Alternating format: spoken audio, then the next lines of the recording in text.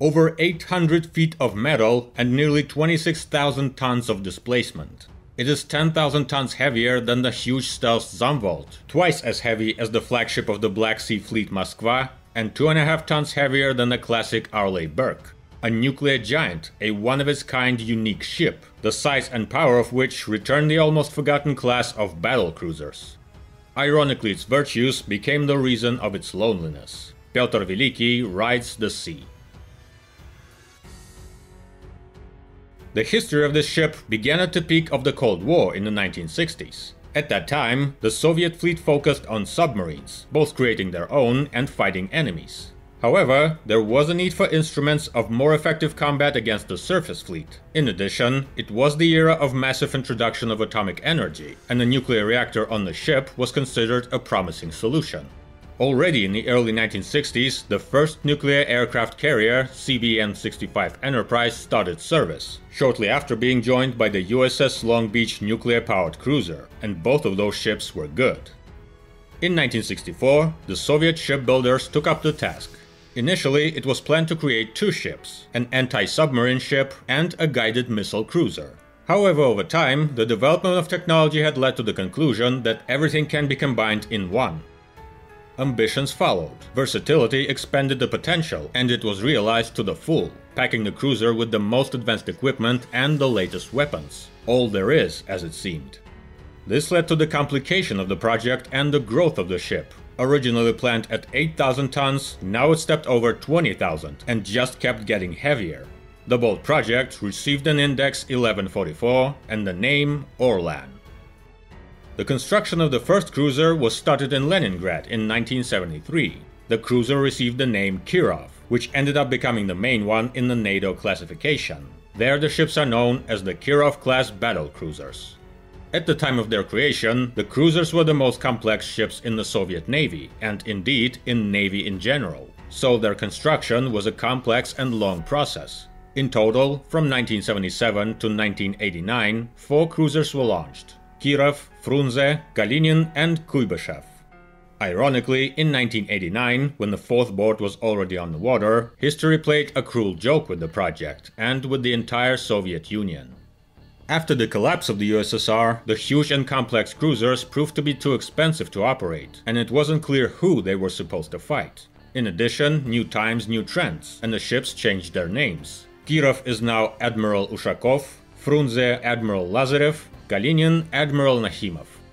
The three already operating ships, due to lack of funding, were put in reserve. The fourth ship already launched, with great difficulties and delays, but continued to finish production.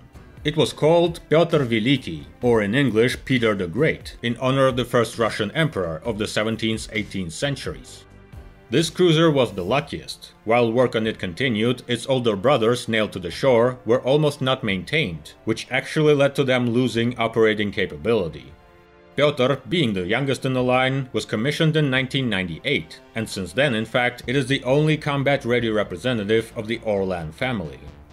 At the moment, Pyotr Velikiy is the flagship of the Northern Fleet, one of the most powerful surface ships in the world and probably the most powerful in Russia. The universality of the cruiser has done its job. By and large, it is designed to deal with any opponents it can meet at sea, whether it being underwater or surface targets, ships, submarines, aircraft, and so on. This goal had become the main reason for the design features. The hull of the ship is very elongated in the bow, which makes it look a bit like the late battleships of the World War II, with the difference being that as the main battery there are no huge artillery guns, but missiles that are invisible from the outside but much more dangerous. The cruiser's main battery is the set of SSN-19 Shipwreck, or in Russian, P-700 Granit supersonic anti-ship missiles. Created in the early 1980s and undergoing modernization, these missiles are still the main anti-ship weapon of the fleet at sea.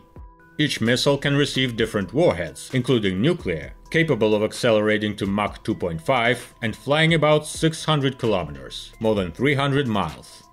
In the front compartment of Pyotr Velikiy there are 20 missiles, capable of interacting with each other on volley launch to more efficiently defeat a group of targets. The cruiser has to be able to fight with underwater enemies. Conventional torpedoes in our time, of course, will not pull all the work. For the submarine combat, the cruiser is equipped with SSN-16 Stallion systems, firing missile torpedoes. Hybrids that launch like missiles at distances up to 60 kilometers and then dive underwater and hit the targets as torpedoes. From torpedoes and other threats from under the water, the ship is protected by the defense system, capable of firing missiles at targets at a distance of several kilometers. Of course, the main threats to any modern ship are missiles and planes. Given that Pyotr Velikiy is a huge floating military base, moreover capable of working independently, the ability to defend itself is crucial. The main role in this task was given to SAN-6 Grumble surface-to-air missiles, which are in fact marine versions of the classic Russian S-300 systems. Given the importance of air defense, the launch complex is huge, almost the same size as the main shipwreck battery. It is a hefty cellar located in the bow of the ship, inside of which a group of rotary launchers is installed, a total of 94 missiles. The rotary startup scheme, for all its elegance, is a controversial solution, in comparison with the simpler cellular one, like on many ships. But the fact remains, the cruiser is under an umbrella about 27 kilometers high, with a radius of up to 200 kilometers. If this umbrella is overcome, then the target will be met by other, more modest air defense systems, such as the SAN-9 Gauntlet, 128 missiles, and near the ship the Kortik close-in weapons system, equipped with short-range missiles and 30mm rotary cannon, if they have to use the most rude methods. There are other instruments of rough communication on the ship. The Kirovs of course are not battleships, but they couldn't do without any big calibers at all. This role here is played by the AK-130 artillery systems, equipped with a pair of 130mm guns, firing up to 80 shells per minute, each weighing nearly 27 kilograms or 60 pounds. The cruiser also has its own small air group. It is represented by a trio of Ka-27 Helix helicopters. The helideck is located in the aft section of the ship, in the same place under the deck there is a small hangar and storage for helicopter equipment, and of course an elevator. These vehicles are needed here primarily for observation and anti-submarine warfare, but also are very useful to carry out any kind of transportation. The size and performance provided the engineers with an opportunity to give the cruiser a fairly powerful armor, comparable probably only with the battleships. It has a double hull design, equipped with anti-torpedo protection, and has massive armor in critical areas. The main onboard shield is an armored belt that protects both the underwater part of the ship from torpedoes and the surface part from anti-ship missiles. The cruiser also has a lot of eyes and ears. The ship is equipped with a dozen different radar stations, electronic warfare, communication and navigation systems, including satellite. At the same time, sonars are watching the underwater part. All this accumulation of radars, missiles and guns works due to the nuclear power plant. For the Navy, a very rare fact. Just some of the aircraft carriers apply nuclear energy now. The cruiser is equipped with two KN-3 nuclear reactors with a capacity of 300 megawatts each, connected to two turbines gaining nearly 70,000 horsepower. This set allows the ship to accelerate to 31 knots and makes it in fact completely autonomous for a long period of time. Restrictions are imposed only by the need to support a crew of 744 people, as well as the need for contacts and provisions. If it is necessary to shut down the reactors, they are backed up by a pair of oil boilers, so the probability of the ship losing energy, even in the case of an accident, is practically zero.